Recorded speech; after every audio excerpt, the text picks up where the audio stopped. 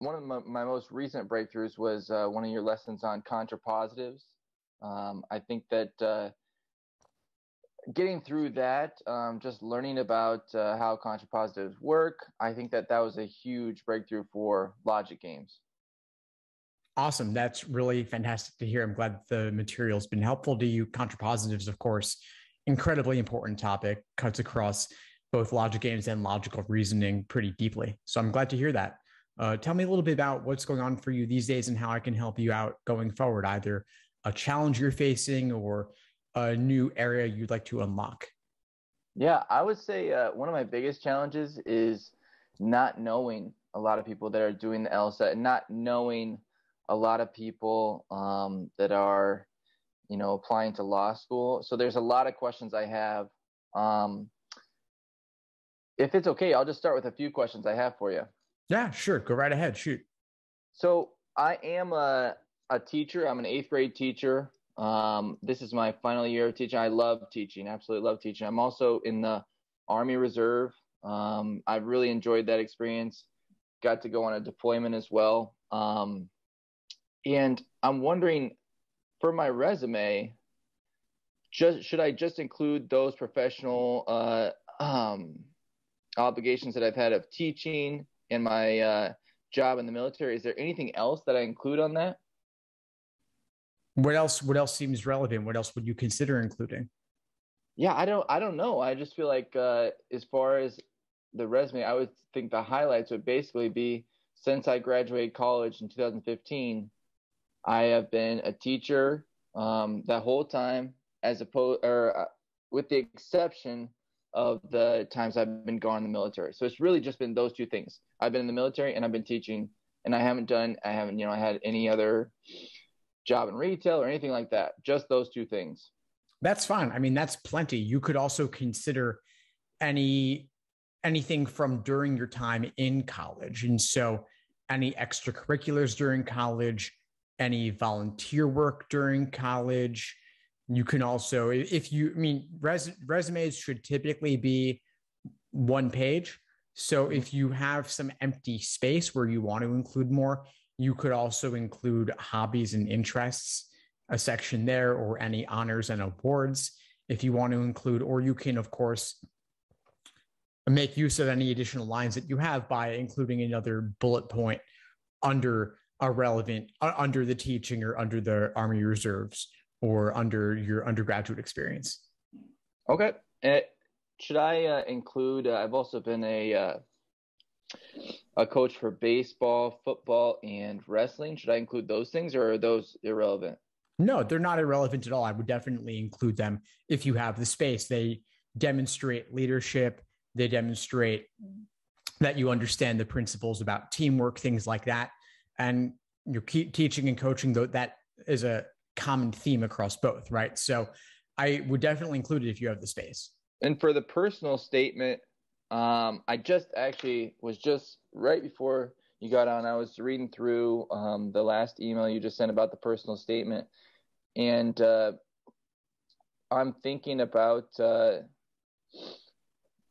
going the military route eh, for that um, just focusing on my experience in the military. Anything in should I focus on the deployment specifically? Should I focus on um, an actual week or day in in deployment, or would you say don't go that route at all? What's your kind of advice on that? There's not really a right answer on this that I could tell you without knowing all the all the details of your entire Army Reserves experience, which of course I can't know. But I would go with whatever you think is going to be most compelling for them. So that could be during deployment, or that could be in any any I guess training. I'm not too familiar with the Army Reserves, but anything that you've done prior to deployment or after, any experiences that you had throughout the entire throughout the entire uh, time in the reserves that you think would be most compelling for an admission officer. So stories are always good especially for a specific hook at the beginning, including details. But think about what you really want to communicate in your personal statement, what qualities you want to show, and then dem- you demonstrate them through the story that you tell. Is there any Okay. particular example that comes to mind? Um, I just think uh, there were uh, obviously very tense times on uh, on deployment, and I think uh, maybe demonstrating my ability to handle large amounts of stress, um, Mhm. just uh, you know, basically to uh, perform under pressure, that kind of thing. Yeah, absolutely. I mean, that's definitely something that I could see being easy to easy to communicate through that. I would talk also talk about growth, you know, show some vulnerability in it. And you can it doesn't have to be successes necessarily. You can also talk about failures and lessons learned from there. All right, perfect. Um, for uh, I, I now this is a question for the writing sample. Um, so on test day, I take the LSAT. I take uh, one reading comprehension, one logic game sections, two um, logical reasoning sections. Is that correct? And then is there one more? Great question. So the LSAT has changed formats over the years. The current format is only one scored section of each of logic games, logical reasoning, and reading comprehension. And then a fourth unscored experimental section. So Okay. when you say two logical reasonings, I understand why. It's because all the previously published LSATs from exam one up to exam 89 have the two LRs because the LSAT used to have two scored logical reasoning sections. But when they moved it online, the format changed. Long story short, you're now only going to have one scored logical reasoning. And then the unscored fourth experimental section could be any of games, reasoning, or reading comp. Okay, and you don't know which one is the experimental, obviously. That's right. It could be any Okay. type of section and it could appear anywhere in the order of sections. It could be first, second, third, or fourth. The only thing you do know is whatever I get two sections of, one of those is experimental. Yes. Later, you'll know it was one of those two, but you won't know which one. Okay, perfect. Uh, and then the writing sample is that after those four sections are complete? It's not in the same sitting. So Okay. You can do it actually up to eight days prior to the LSAT. You can also do it afterwards. I would make sure that you do it no later than a few days after the LSAT because you don't want the writing sample to delay your score release. They won't release your score until you have at least one writing sample on file. Okay, and is that something where uh, Proctor's watching me? I have a time. It is Um, timed. It it is timed. It is record the for security. The cam the webcam is recording you. There's not someone watching you live, but they can review the footage later in case of any. Let's say someone interrupted you in the room during the exam, that would raise a flag of some kind. So you want to make sure you're not going to be interrupted and that you don't have any prohibited items in the in the room. Okay. Um, and is that something where it's like one page, two pages? Is it three paragraphs? What's the length on that? I don't believe there's a set length that it has Okay. to be. I would definitely go with at least three paragraphs, probably four. I wouldn't, you don't want it to be too short. So I, I would go on, when in doubt, go a little bit longer just to show that you have more to say. Kind of like if your resume were only half a page, that would kind of raise the question well, well, where is everything else? What do you have? So the writing sample, you also want to show that you have something to say, that you can make a well-reasoned argument. It could be intro, body, body, conclusion, and just clearly state the option that you're choosing and why, and make sure that you're acknowledging the downsides of your choice while still arguing overall in your choice's favor. So be reasonable, but clearly come down on one side or the other. Okay, perfect.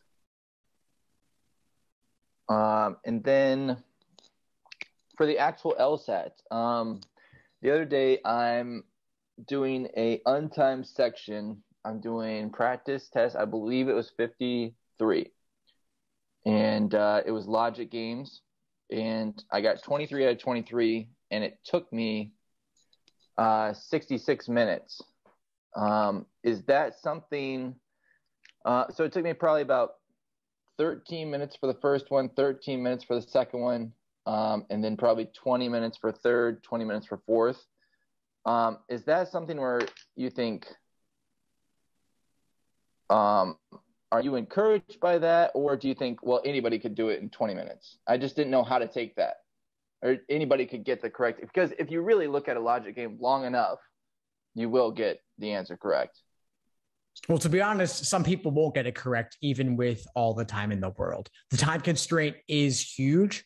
So it makes sense that you would do better if you have more time or if you allow more time. But there also is something to learn.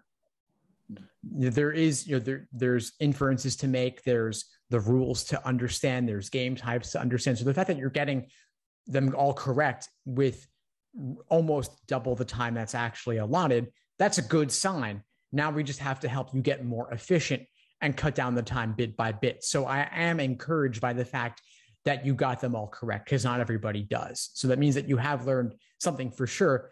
Like you said at the beginning, you know, contrapositive, that matters, that helps. So I would just aim to shave off time bit by bit. You could go from 66 to cut it down to 60 then give yourself 55 and reduce gradually five or so minutes at a time. And I would also see how can you get the easier games more quickly? And then also how can you get the harder games more quickly? So this comes down down to things like making more inferences up front, maximizing your use of previous work. Are you there still, Steve? I, you cut out just at the end. I just want to make sure you're still there. Yeah, I'm still there. I know the internet's been a little bit shaky. Uh, right. Let me know if you want me to repeat anything. Nope, that's good.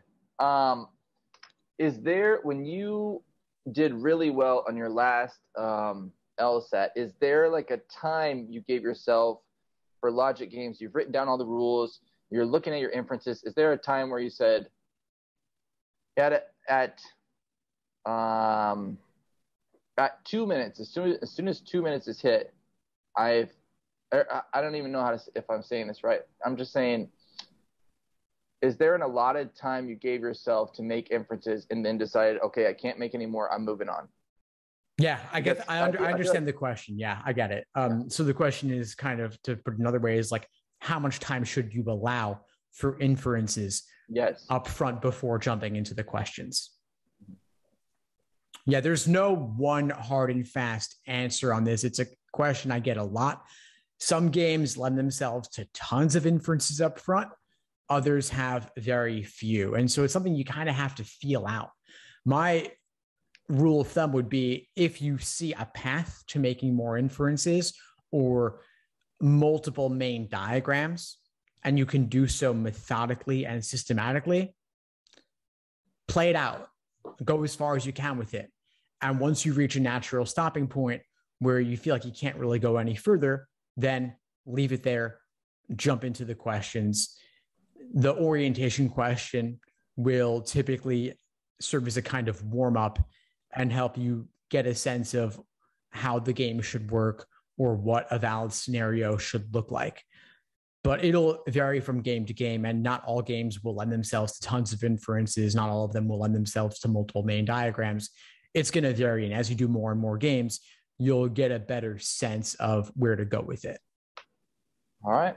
That sounds good. I just have one last thing, and this isn't really a question, just uh, I guess I'm just sharing a struggle I've had um, with logical reason, and sometimes logic games too, but with logical reasoning, I would say I miss a lot of questions more than I should by not reading carefully. Um, I would say there's there's some that will say the question, logical reasoning question will say, uh, all of these answers will strengthen or, or which of these answers, all of these answers will strengthen the argument except, and I read it quick. I'm trying to go fast, trying to be efficient with my time, and I read which one will strengthen. And so now, if you're looking at a which one will strengthen except, now I'm looking at four answers that do strengthen, and it's taken. It's like, well, that will strengthen, that will strengthen, and I'm just looking for one when I should be looking for one that will not strengthen it so that's just a, a, struggle I've been having. I just need to, I guess, have a little bit more attention to detail. Yeah, that comes with that comes with practice. It comes with getting burned enough times. And you could even, if you want, on your scratch paper, write S, S, S, S for strengthen, S for strengthen, so that you can solidify for yourself, okay, well, the default is that answer choices are going to strengthen. If it doesn't, it will either weaken or have no effect. In most cases, the answer will have no effect. And so, just to help yourself really emphasize the nature of what it is that you're supposed to do. But yeah, forgetting halfway through is really common and it just takes more exposure and more practice. You could also drill accept questions specifically to get a sense of the rhythm of how those work. Mm-hmm. That sounds great. I will do that. Um, that's really all I have. Awesome, Brett. Well, it's great to meet you. If you have any questions or need anything going forward, just shoot me an email and reach out. I'm happy to help. That sounds great. Thank you so much for your time. My pleasure. Have a good one. All right. Thank you. Thanks for tuning into the show. Please subscribe if you haven't done so already to be notified of new episodes as I release them. And feel free to reach out if you need anything at all as you move forward with your prep. I'm happy to help however I can. In the meantime, I wish you all the best and take care.